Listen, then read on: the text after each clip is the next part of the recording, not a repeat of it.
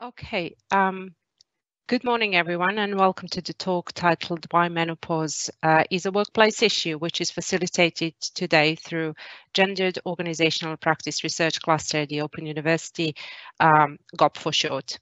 My name is Nella Smolovic-Jones. I'm director of GOP and I will be your host today. And for those of you unfamiliar with this research cluster, I should say that uh, uh, it provides a space in which all those uh, dedicated to gender equality can um, share insights from academic study and practice. And this is exactly what we're going to do today.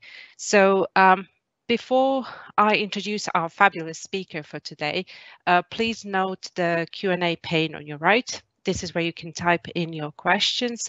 Uh, this is where you also can vote for your questions uh, by simply clicking like button next to it. And please take advantage of, of this facility because then I can prioritize those questions that you prefer in Q&A. Um, you're also probably uh, familiar with events such as these.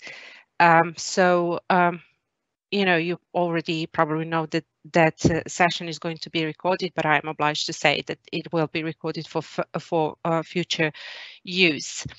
So uh, to the more fun stuff, um, our speaker today is brilliant Jo Brewis. Uh, she's a professor of uh, people and organizations at the Open University, whose research, broadly speaking, focuses on uh, bodies at work or embodied experiences at work.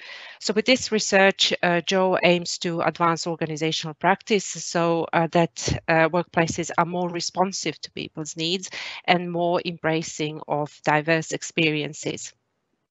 Uh, as managers, you might also note that uh, adjusting workplaces in such a manner can lead to greater commitment and productivity of your employees.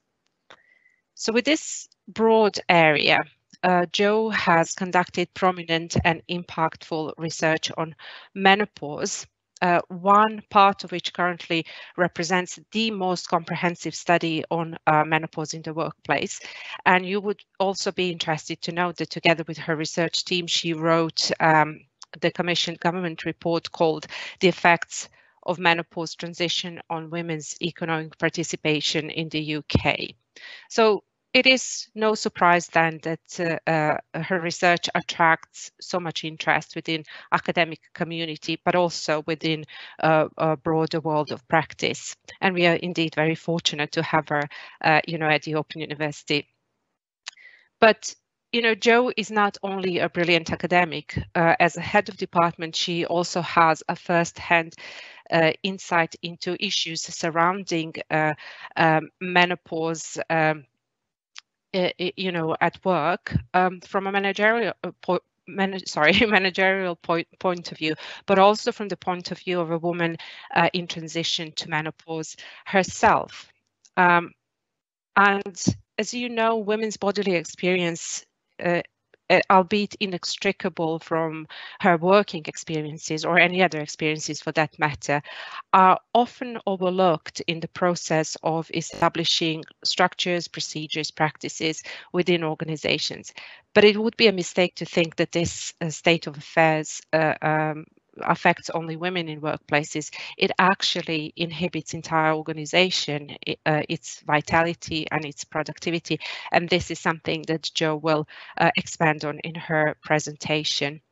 Uh, she will also cover, cover uh, you know, following three questions that I hope you will uh, be able uh, to kind of have a go at answering yourself because it would be interesting to compare a variety of you and and please be free to write your answers in Q&A pane as well. So the first question is when on average do women attain menopause? What do you think?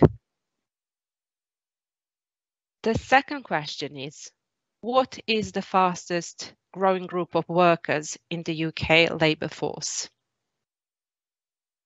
And question three, can menopause cause legal difficulties for employees, employers? So without further ado, I will pass you now to Jo. Um, do enjoy and see you in Q&A.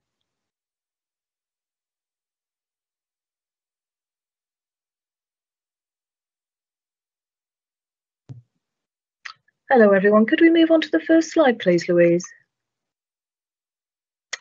Thank you. Thank you all so much for attending today. Um, I know we're all pretty over these sorts of discussions and presentations online, but I'm very pleased to have you all with us today. Um, I should also apologise for my lockdown hair. Um, I'm sure a lot of us are experiencing the same issue. Okay, so just to start with a very quick overview of what I'm going to be talking about today. So first of all, I'm going to give you some key statistics around menopause and talk about some of the key issues in this very normal and natural stage in a woman's life. I'm then going to talk about what myself and my team tend to call the four cases. In other words, the four reasons why menopause is a workplace issue, and that's also the, the four reasons why employers need to take it seriously. I'm going to talk a little bit about how symptoms can affect work, and then flip the coin and talk about how work can affect symptoms, in other words, make symptoms worse.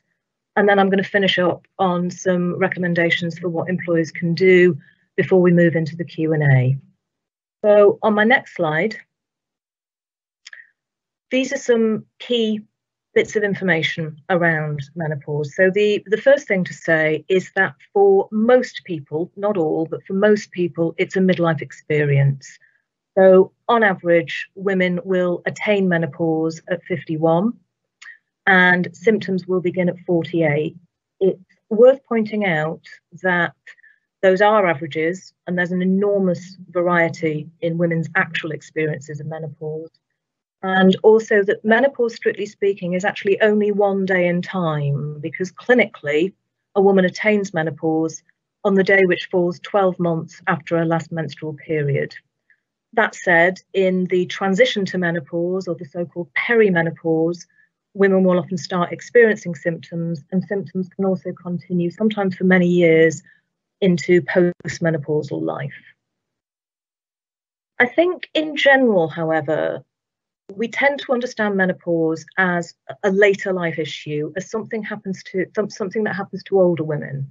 Whereas in actual fact, I would argue that's a little bit of a hangover from history. So if we look at the graph to, to my right, at least, of the screen, you can see that in the early 1900s, on average, women attained menopause at 47, but their life expectancy was in fact only 49. So, in, in those days, in that historical period, menopause was actually an end of life experience. But if we fast forward to the 21st century, I've already told you that on average, women attain menopause at 51, but our life expectancy now, at least in the global north, is on average 83. So we live typically for three or more decades after we've gone through menopause. And of course, many of those decades will actually spend uh, in paid work.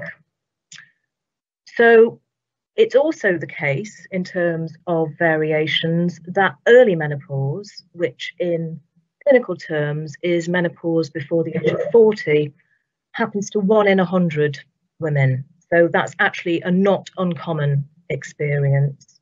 And of course, it's also possible for women to be plunged into what myself and the team tend to call cliff edge menopause, menopause that literally happens overnight, for example, because they have surgery to remove their ovaries or because they start taking things like the breast cancer drug tamoxifen. Symptoms are also extremely varied. So there's, there's again what we tend to call a constellation of symptoms. And these include things like hot flushes and night sweats, anxiety, depression, very erratic and or heavy periods, loss of concentration, problems with memory, low mood, mood swings, and urinary incontinence, and, and a whole lot more.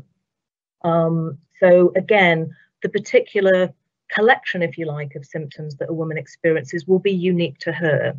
And it's also worth saying that the old adage about some women sailing through menopause is indeed the case. Some women literally almost experience no symptoms at all. That said, the vast majority of women will experience symptoms. And this last point on the slide there is just to illustrate that. So I should first of all explain that the asterisks on women are quite deliberate. So when I use women here, or woman, um, it's a placeholder effectively, because I think it's important to remember that anybody who was assigned female at birth, if they haven't gone through certain sorts of surgery, will experience menopause. So that includes a lot of transgender men and gender non-conforming people. But these statistics come from NICE, and they show us that 75% of postmenopausal women continue to experience hot flushes, excuse me, and 25% find them bothersome. Now, that's not a word that I particularly like, but it's a word that you find in the clinical literature. And basically, it means that these disrupt the quality of their lives. And that includes, of course, at work. So, on my next slide,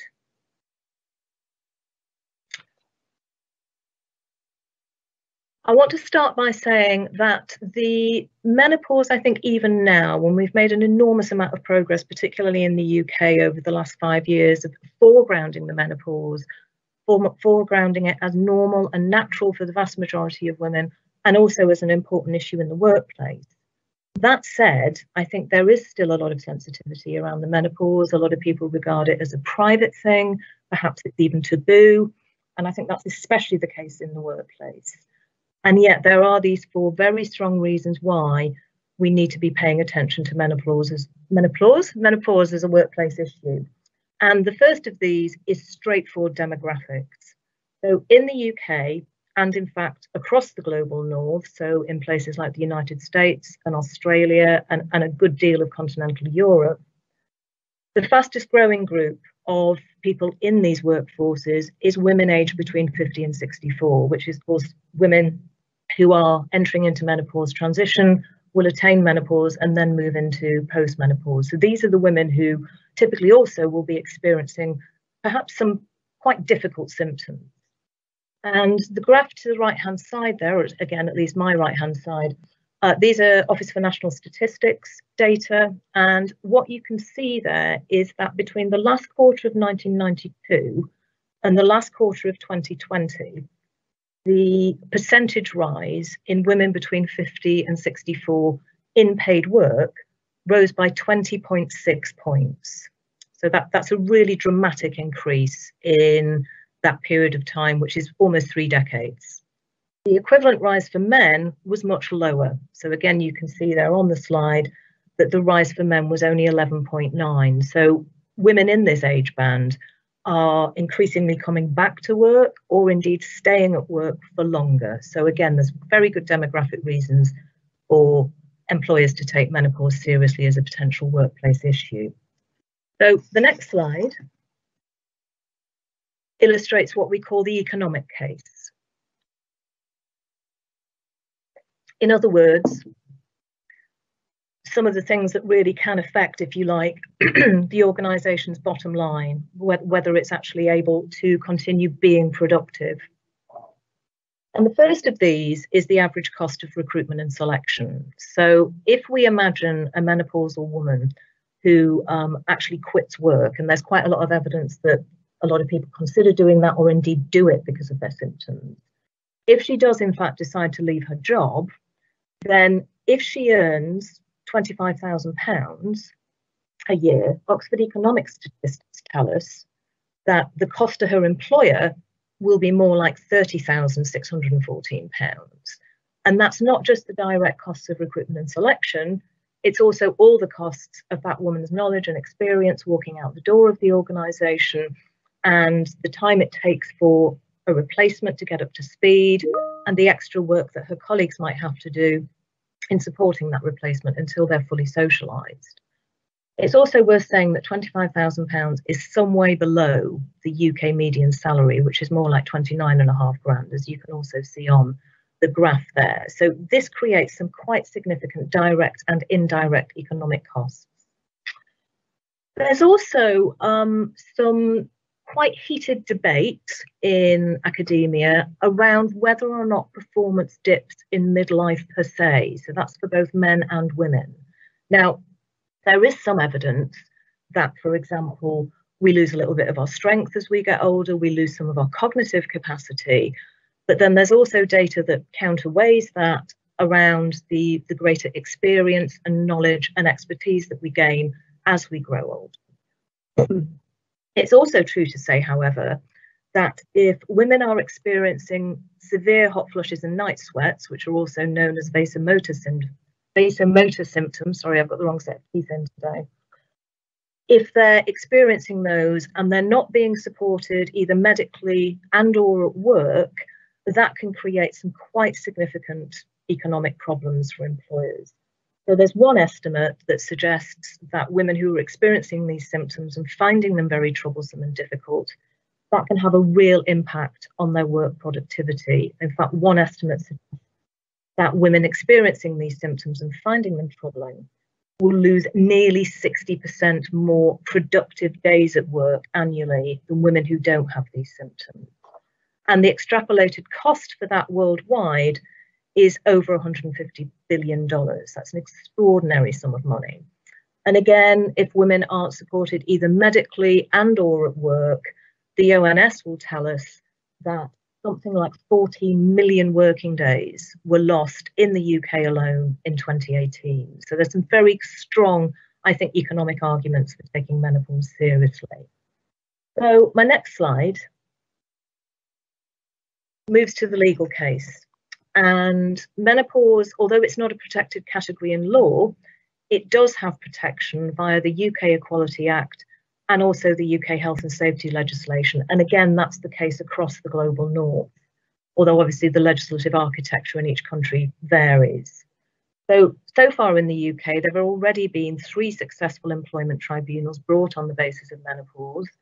The first was all the way back in 2012, where a woman called Merchant took British Telecom to court on the basis of unfair dismissal and sex discrimination to do with her menopausal symptoms.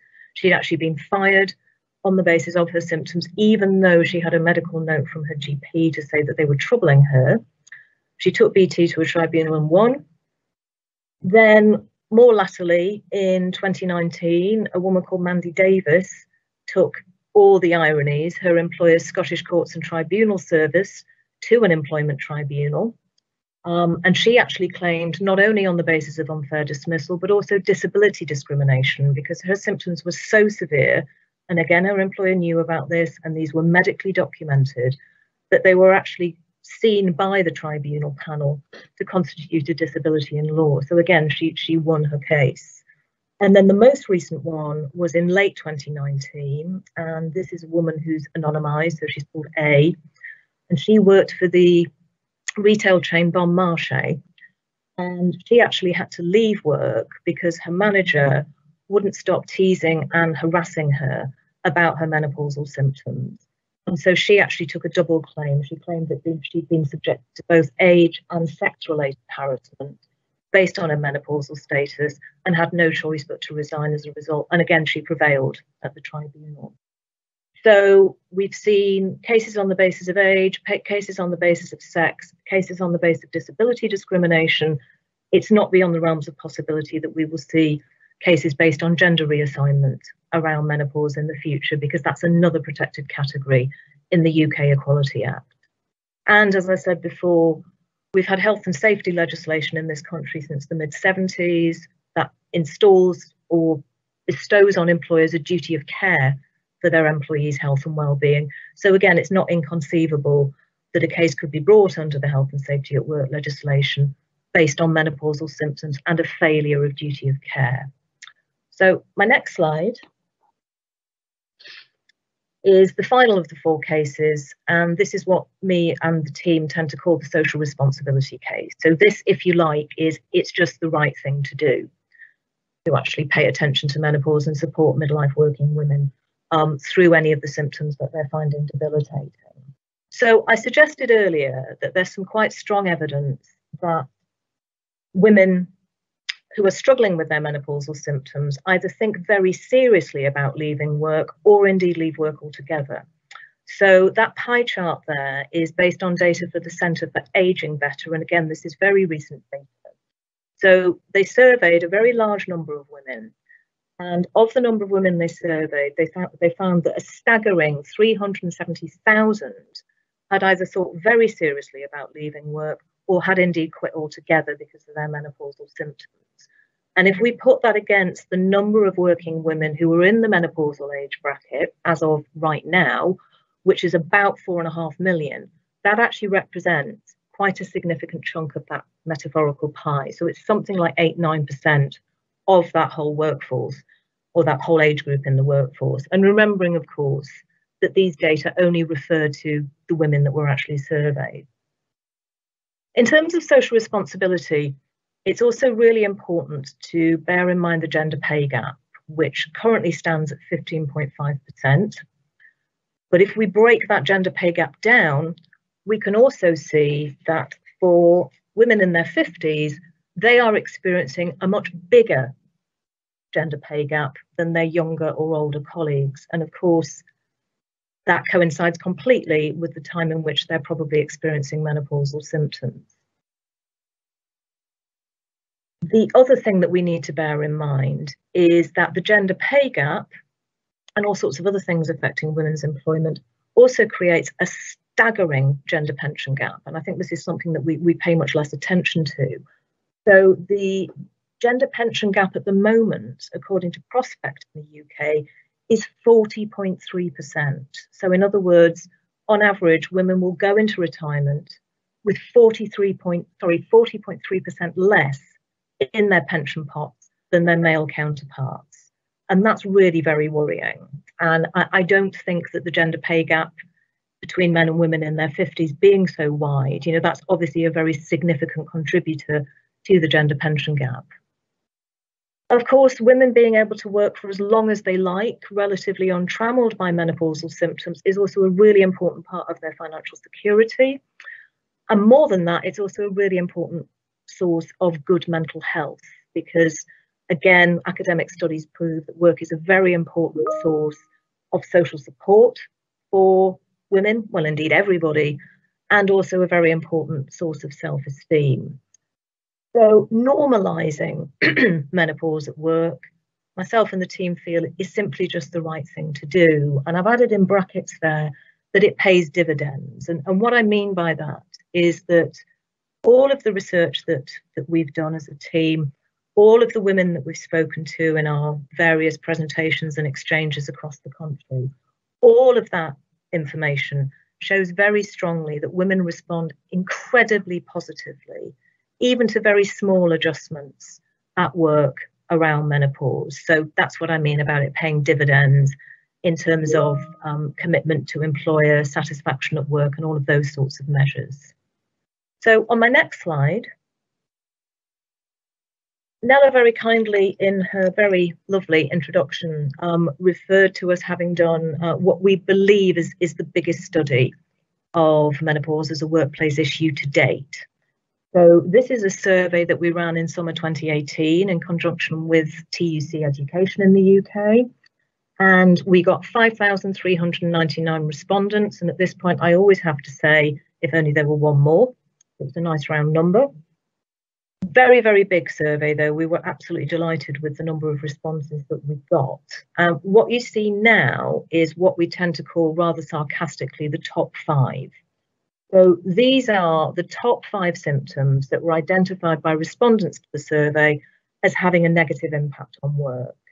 And it's worth bearing in mind that nearly 73% of respondents to the survey identified as menopausal women and so you're looking at something like 3,900 women responding here. So the, the fifth worst symptom at work uh, was identified as insomnia by 29.5% of those women. Next up, anxiety and worry, identified as a problematic symptom by 31.9%. Focus and concentration, which is absolutely one of my symptoms, identified as problematic by 34.3%. Then hot flushes, identified by 35.1%. But the one that came out on top, in inverted commas, was fatigue, which was identified by 40.3% of these women as a real workplace problem related to menopause. So the next slide actually flips the coin. So I've talked a little bit there about how symptoms can make work more difficult, but there's also quite a lot of data about how work can make symptoms worse. So I've, I've just plucked this particular quotation out of what is now a really large um, collection of data sets that we're working with. So this is an interview that I did with a lady called Elizabeth, who works at a hospital trust in Nottinghamshire, and she's in very senior management there. And Elizabeth's talking here about her focus and her memory and how they've been very badly affected by menopause. So she says, she finds the cognitive stuff the most challenging. She says if she pops in to see her boss, who's in an office just across the corridor, he'll ask me a question, and she says she's just really struggles to, to conjure up the answer, or she'll she'll come out with something random, or she'll want to go and check what the answer is. So she says when I get caught on the hoof, metaphorically, she feels overwhelmingly that other people think she's useless because they didn't know her before. She's relatively new to the trust when I was interviewing her. And she says, they must think I'm useless, and I would have been just so on it before. So she's really struggling with that particular aspect of her menopausal experience. Okay, so on the next slide, we just quick gulp of water. I just want to finish off on some of the things that employers can do to support midlife workers if they are experiencing difficult menopausal symptoms. And I think it's worth saying actually that we often talk in the team, excuse me, about putting putting out or creating what we call a cafeteria of different sorts of things in the workplace. So women can pick and choose as to what might be the most beneficial set of arrangements for them, according to their own experiences and according to their own constellation of symptoms. But the first thing to say, and this is absolutely vital, is that a woman should always make up her own mind and be able to make up her own mind about whether she tells anybody at work that she's having difficult menopausal symptoms. There is a lot of evidence still that some women simply prefer to deal with it as a private and personal matter. They don't think it's any business of their line manager or their colleagues or the, the employer per se. So there should never be any form of coercion or persuasion for women to disclose symptoms. However, employers should be making what the law calls reasonable adjustments. Now, this is something that we tend to think of in the context of disability, but actually, I think it's a good phrase to use um, across the board in supporting menopause for women. And it's important to say, of course, that menopause is not a disability, although it can be disabling in terms of the symptoms that it causes. So these reasonable adjustments are just things, they're tweaks and alterations in the organisational landscape, some very cheap and very easy, others, fair enough, much more expensive and much more complex, but that actually level the playing field, if you like. So one choice for organisations to make if, if they want to enter into this particular space, and I would really recommend that they do, is whether they would like a menopause policy whether they would like something more informal, like guidance, or whether they really would just prefer to share information about the menopause and, and let members of the organisation decide how best to respond. However, it is absolutely vital that any move towards making the workplace more menopause friendly is underpinned by a, a shift in organisational culture. And that has to start with awareness raising. It has to start with making everybody in that workplace aware of what the menopause is, busting some of the myths and taboos around it, and suggesting some of the issues that it can cause for women going through it. So, this is part of the ongoing process, we would argue, of normalizing the menopause, of making it as uncontroversial as conversations about pregnancy leave or maternity leave. We believe that line managers, especially, need to be trained. So they need to be very aware of menopause as an EDI issue, as an occupational health issue potentially, but they also need to be trained in listening and having what could be quite sensitive and difficult conversations with their female staff. In larger organisations in particular, we would recommend that occupational health advisors are fully trained and fully aware around menopause as are any other specialist providers. So anyone who's providing an employee assistance program, for example. Ideally, we'd like to see absence policies tailored so that repeated short absences due to menopause are classified as a, as a sickness issue or an ill health issue, as opposed to something that triggers performance management procedures. Informal support is absolutely invaluable. So, for example, menopause cafes, We've also seen a lot of Yama groups set up in organisations across the UK. That there's one at the OU and it's incredibly active and it's a really lovely, vibrant space for women to share their experiences, ask for advice, give other people recommendations. Flexible working arrangements. So, for example, if a woman is suffering from very bad menopause related insomnia, perhaps she could start her working day later and finish later. Of course, we're all working from home at the moment anyway, or at least the vast majority of us are working from home, but that could also be part of the provision in normal, normal non-pandemic times. And it is worth bearing in mind, of course, that anybody in the UK who has worked for the same employer for more than six months has a right to request flexible work. That doesn't mean the employer necessarily needs to give them the flexi work that they're asking for, but they certainly have the entitlement to request it. Um, home working support as well, and of course the pandemic is really relevant here. So I think we, we have to be very careful not to assume that working from home will necessarily be beneficial for menopausal women. Of course, you know, it might be easier to wear cooler clothes. They should have access to um, heat controls so they can turn the heat up or down in, in their house according to um, their particular temperature at any given time. They've got access to cold drinking water and so on. But it may also, the home may also be a very stressful place for a number of different reasons, um, not least of which is simply poor Wi Fi. But we've also got childcare issues, there may be domestic abuse going on. And if you put menopause on top of that, that can actually make the work uh, working from a real, real challenge. Okay, so the next slide, and in fact, pretty much the last of what I've got to say, are talking about environmental adjustments. Um, so these are things about the physical context of work. So providing fans, something as small as a USB desk fan, and or good ventilation, so women can open windows or sit near windows um, if they're experiencing hot flushes temperature control, clean, comfortable, and well equipped toilets for things like menstrual flooding, cold drinking water, lighter layered, non synthetic workwear. We're seeing quite a lot of police forces, for example, now introducing breathable uniforms, which of course doesn't just benefit menopausal women, it also benefits anybody who works up a bit of a sweat at work or indeed cycles to work.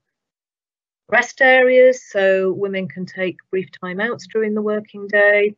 Natural light has been shown to ameliorate menopausal symptoms, access to showers if possible, and reduction of noise exposure. Um, there's a, a very interesting study of nursery school teachers in France, which shows that one of the big stressors and one of the big exacerbators of menopausal symptoms is noise. Now, clearly, it's a bit difficult to ameliorate noise in a kindergarten class, but we could think about ways to ameliorate noise exposure in other workplaces. Okay, so that brings me to the end of what I wanted to say. On the next slide, sorry, next slide, please. Thank you. Um, there are some, oh, sorry, can we go back one? there are some resources. Um, so the first, third, and fourth are all freely available. You can simply click on them and, and, and, and read and, and dig around. Um, I, I, would thoroughly recommend Henpicked Menopause in the Workplace. We've been working with them for several years now, and they really are state of the art in terms of the support that they can give to employers who want to become more menopause friendly. Okay, that's it. I think we are now ready for Q&A. Thank you, Thank you so much uh, Jo, for this thought-provoking uh, presentation. I apologize, my my voice is coming back to me. So, so can you, Jo, Can I ask you, Jo, please to uh, to mute your mic for just yes, a few seconds? Sure. Yep. Ah, that's far better. Um, gosh, does everybody ha hate their their own voices? Uh, um, I know I do mine. So we had uh, some some amazing uh, uh, comments here um, in relation to your presentation, and uh, the one that uh, people voted for the most is uh, the one from Liz, who says that figures relating to that you presented about menopause in workplace are interesting when you consider that 50 plus women are also seen by recruiters as the least desirable demographic and first choice for redundancy. And um, I wonder in relation to, to that, how much attention do workplaces in the UK currently give to this important issue of, of menopause in comparison perhaps to other countries? Um, like, is there a is there a good role model uh, to follow, or is this our chance to champion some of these issues at workplace? Thanks, Liz, for pointing that out. I think that's absolutely right. I think we, we are still facing rampant gendered ageism in this country and across, across the global north. That said, I will say that in the last, so I've been working on this project and in this area for, goodness me, five years now. That's flown by.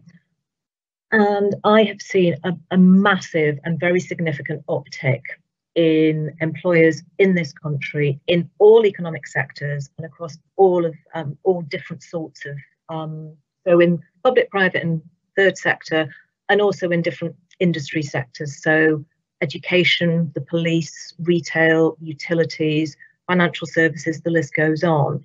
There are a lot, particularly of big employers now taking menopause very seriously and really blazing a trail for other employers to follow. So, um, for example, uh, if I was to reference some of the organisations that Henpicked have supported, numerous universities, Aviva, there's also work going on at Santander in the financial sector, um, numerous police services, um, Marks and Spencers have done some work in this space, Sainsbury's, etc., etc., etc. So I think that at the moment the UK is actually providing a very good role model for practice in other countries. And certainly when I talk to friends and colleagues in continental Europe and in the States and in Australia, things are much further behind there. Having said that, I still think we are behind the curve. And what we need to do is get organizations, my belief, small ambition, um, to completely normalize menopause at work in, in the next four or five years so that, as I say, it becomes no more remarkable a topic of conversation than discussion about how long a woman's going to be on maternity leave for and, and when she wants to come back to work. Thank you, Jo. Uh, another very, very interesting question from Clem. How do you change organizational culture, especially in male dominated industries, to be more aware of menopause? And I, I, uh, I guess in relation to that, if I may add, like, can organizations contribute to dismantling the social stigma attached to menopause?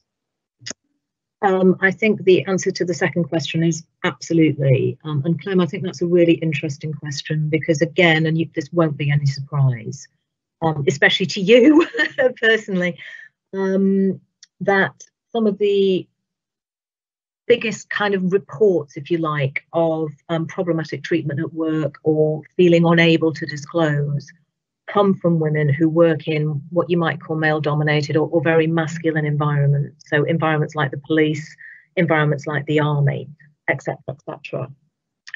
However, it's also in some of those workplaces, and the police service is, is the best example where, where the most um, work has been done. So in this country, the first police service to have a menopause policy was Nottinghamshire and we're going back now probably five or six years for that. And if you were to look at all the other police services across the country who followed suit, you know, the numbers really are quite significant.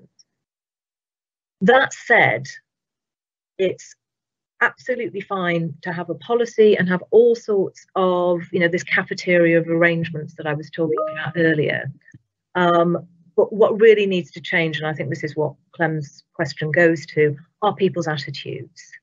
And what we found in doing doing the work that we do and our collaborations with Henpicked is that as, as, a, as a very old and sorry, a, a, former, not very old, a former and dearly beloved boss of mine back in the day used to say, the only way around it is through it. Um, the piece that we published in Occupational Health at Work actually talked quite a lot, again, about the four cases that I've just introduced you to, but also about some of the ways in which these discussions can be had in workplaces and start to change people's mindsets and attitudes without necessarily putting people on the spot. So, one of the examples I liked was um, from, I think it was Severn Trent Water. Um, and they were a very early mover in this space, one of the first utility companies to actually move into this, this particular arena. And what they did to kick their menopause campaign off was they got people to send in questions anonymously so they could simply post to a particular website. They could name themselves if they wanted to, but they didn't have to. And what that meant was that when the questions were answered, however kind of daft the questioners may have thought they were, they they didn't have the embarrassment of having to raise their hand or identify themselves in public. And there are various other things I think that, that you can do. So another good example, I think, is bringing in what you might call neutral brokers. So I think this is where Henpicked do so well because when their trainers and advisors go into workplaces, they are neutral brokers. If, if you like, they have no skin in the game. They're not employees at that particular organization. Um, but I think it's also really important that each organization does what works for that organization. It's important menopause support isn't one size fits all. And in some organizations, some things will work much better than in others. So I think it's important to bear that in mind as well. Lovely. Thank you, Jo. Um, a very, very interesting question from Michelle Gleason. Has research shown that women's well-being has improved when changes have made have been made in the workplace? Uh, she said that as a woman business owner, um, and in charge of uh, her own work day she found it all horrendous and nothing helped. And and i i suppose uh, i can uh, attach another question to to that question too. Um, so how detailed and understanding of menopausal symptoms does our medical community have? Uh, considering you said that menopause is still taboo seldom talk uh, talked about openly. So is there a finite uh, list of symptoms out there Okay, so that, that's a, a lovely collection of questions. Michelle, I'm so sorry you're having such a hard time. Um, I think what I'm going to start with is the medical question, and then I'll flip back to Michelle's question if that's all right. So, the usual understanding is that there is something like 34 symptoms of menopause. That said, there's still quite a lot of clinical disagreement as to what constitutes a symptom because in some cases um, there's arguments about what's known as the domino effect. So the domino effect to illustrate is am I tired because I'm menopausal or am I tired because I'm having night sweats because I'm menopausal? So, you know, the direct correlation between fluctuating hormone levels and particular symptoms is still a matter of debate in the medical community. I think it's also true to say that general practitioners, in particular in this country, receive very little training in menopause. And unfortunately, our anecdotal evidence tells us that they can be quite dismissive of symptoms, um, or they refuse to prescribe HRT because they've, they've misunderstood some of the medical evidence around HRT, or indeed they prescribe it, but they say they'll only prescribe it for a very short time. So there is a big job of work to be done um, by organisations like the British Medical Society and the Royal Society for Medicine, and indeed the BMA, of actually educating general practitioners about, again, this very normal and natural stage in a woman's life.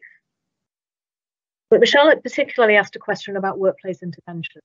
Now, it, it, that's a really interesting question because the answer is where there is evidence, absolutely yes, it improves women's well-being. The problem is that the evidence base is really quite small. So at the moment, I think if I was to to enumerate the number of studies that I'm aware of, one of which I wrote, which is a, a confidential report for the hospitals trust I was talking about earlier, I think we've probably got maybe seven or eight studies. Um, so there's a couple that were done in Japan, a couple that were done in Finland, some that were done in the UK. Another one I read very recently was done in the Netherlands. But this is a very, very small data set, if you like. That said, the anecdotal evidence that I hear from women when I when I go out and chat to them or, or I'm in an email exchange with them is that their employer simply putting it on the agenda has a real effect on their health and well-being, as I said when I was talking about the social responsibility case. So simply put, we need a lot more academic research in that area of workplace intervention. Uh, thank you very much, Jo. Um, a very specific question from uh, Caroline. Do you know of any research on how the menopause can affect fitness levels, thinking of the police and armed forces uh, here? And you mentioned something uh, about uniforms, breathable uniforms, and all that. So perhaps you encountered some of these studies. Yeah, again, um, a very interesting question. There is some what I would call experimental research, so laboratory experiments where they're testing things um, like physical fitness, but also cognitive capacity in a laboratory environment. So, so what they're doing there is simulating what might go on in a workplace and seeing how well women cope with it. Um, and that would be particularly the research I'm thinking of is about women who have very flushes. So does does a hot flush affect your your physical capacity or, or indeed your your cognitive capacity?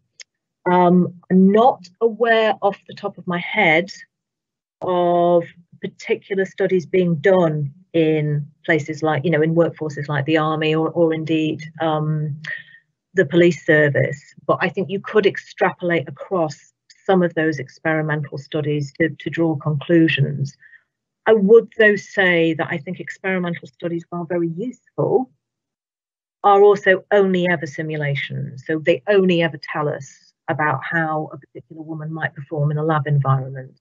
And I think it's it's an ongoing question as, as to how much that would map over into the the, the actual workplace. Uh, Thanks, Jo. A really nice comment from Catherine O'Keefe. Uh, she says progress is being made here in Ireland in workplaces, not as progressed as the UK, but headway is being made. And I'm finding more workplaces opening this conversation. And it's really uh, good to hear that. And uh, from their neighbor uh, in Northern Ireland, uh, Lisa said, Hi, I was wondering if it would be proactive to encourage women who are having long term uh, disabling effects caused by the menopause to apply for PIP. And I uh, suggest PIP is a performance improvement plan. I hope I got it right. Yes, I think that's what it stands for. Um, that's a really good question, Lisa. I'm going to have to think about that one for a couple of minutes. Um,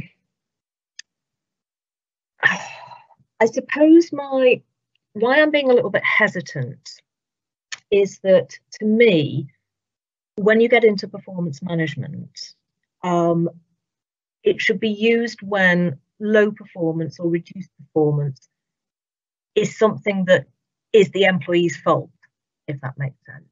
Um, so, for example, if they're continually late for work because they can't get out of bed, um, or they're taking a lot of Fridays and Mondays because they want long weekends as opposed to actually being episodes of sickness. That sort of thing, I think, is is absolutely where performance management or performance intervention or performance improvement, whatever you might want to call it, can work. I'm a little bit concerned about women getting themselves into that space because I think really it's I suppose I'm just going to say it out loud. I think it's an employer's obligation, morally, legally, etc., to actually provide the appropriate support. Um, so, if a woman is struggling with her menopausal symptoms because the way that her work is set up, or the physical environment she works in, the uniform she has to wear, whatever it might be, is is reducing her performance, then I think those are things that the employer can change. Yeah, yeah. Uh, sorry, Jo, just to interrupt. I just got a message from uh, from Lisa uh, where she clarifies that she meant personal independence payment. Uh, these acronyms, uh, yeah, uh, it's an old DLA disability living allowance. Yeah. Um, yeah. That's a really, again, sorry, I went completely off at a tangent there. Forgive I me. I led you there. Um, yeah, I. Sorry. The honest answer, Michelle. Michelle. So now I'm calling you the wrong name. Lisa, is I don't know, and that's I'm not um, particularly well up on the so-called benefit system. I, I hate that word. Um, so I think that is something that I would want to explore with an expert rather than me gaily saying yes, you, you could apply for PIP. I, I, I really don't know if I'm honest. Uh, thanks, Jo. Um, you know, speaking, uh, uh, mentioning issues uh, uh in Northern Ireland and uh, Ireland prompted me to think about the UK and, and our relationship to the EU after Brexit. And I'm wondering, do you envisage Brexit impacting on, on this issue at all? And, you know, if yes, how? Yeah, I, I'm actually really worried about Brexit. I mean, I'll, I'll say it out loud. I'm a Remainer. I find the whole Brexit thing just baffling, really. Um, in terms of menopause work, or menopause in general, actually, I, I, I, think there are two key issues here. So the first one we're actually already experiencing, and this has been going on for some time. Um, one of the um, forms of prescription for HRT um, is a patch, and it's often called the dual or the combined patch because it has both estrogen and progesterone in it. And it's something that anecdotally I've spoken to a lot of women who, who found it's really helped them doesn't help everybody, and you know, obviously there are side effects and so on. But for a lot of women, it has been a, a, a literal game changer. Now, the supply of that product um, was already fairly variable, and I'm hope I'm right in saying that it's manufactured outside of the UK. I think it's manufactured in continental Europe. So there were already supply issues before Brexit. And it worries me greatly that those supply issues will probably be exacerbated now that the UK has left the European Union. Um, the other thing that also worries me, and, and this is perhaps more germane to the workplace in particular, is what we hear this phrase a bonfire of workers' rights as a result of us leaving Brexit and of, leaving Brexit, leaving the EU, and of course no longer having to be beholden to things like their human rights legislation and and that really scares me. It, it really scares me that, that that our current government, because of their political coloration, because of their dislike for regulation, because of their belief in a small state, I could go on, but I'd probably start swearing. Um, that they are going to roll back, in some cases, decades of employment protection. And if they do that, I think that has real, clear, and present dangers for menopausal women, as well as pretty much everybody who exists in the world and, and leaves their house on occasion. Uh, thank you very much, uh, Jo. Something to uh, keep an eye on and and um, you know um, research in the future for sure.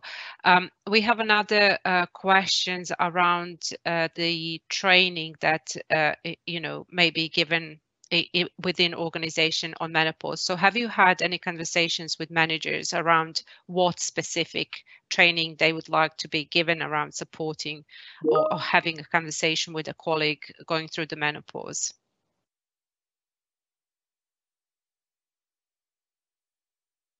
Um, I think you're muted, uh, Jo. Sorry. I am sorry. You think I'd, I'd have the hang of this after nearly a year?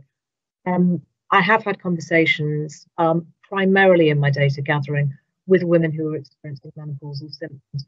That said, some of them are managers as well. Um, I think the best way to answer that is actually to say that there was a really interesting study done by Claire Hardy at Lancaster, uh, Amanda Griffiths at Nottingham, and Myra Hunter, who's at King's in London. And what they did was they put together a very short, so only 30 minutes, um, online learning tool for managers and they trialed it with a group of managers. And the results were incredibly positive. So there is evidence that managerial training can can make an awful lot of difference. And i, I suppose although it, it, that's not something that i personally have done a lot of investigation into I, I feel that one of the things that really does help not just line managers but everybody who works in an organization because you know we all know midlife women uh, we all work, live, are friendly with, etc. midlife women. Um, I just feel that awareness raising and myth busting goes a hell of a long way. I think that there's a lot of um, confusion about menopause out there. There's a lot of what lovely Donald Trump would call fake news. Um, that that worries me because actually I think when when we're all aware and educated about menopause, it, it comes to seem much more normal and, and we can get rid of some of these horror stories that, that seem to be circulating. So I would always start with awareness tra- tra- awareness raising for managers. I would also make sure that they are aware of legislative issues, and of course, I think, and again, this is borne out by research, um, training and having difficult conversations. Particularly I think for younger women or, or male line managers, it can be tricky to have those sorts of conversations. So I think it, it's those sorts of training packages I would recommend. Um, thank you, Jo. Uh, I'm.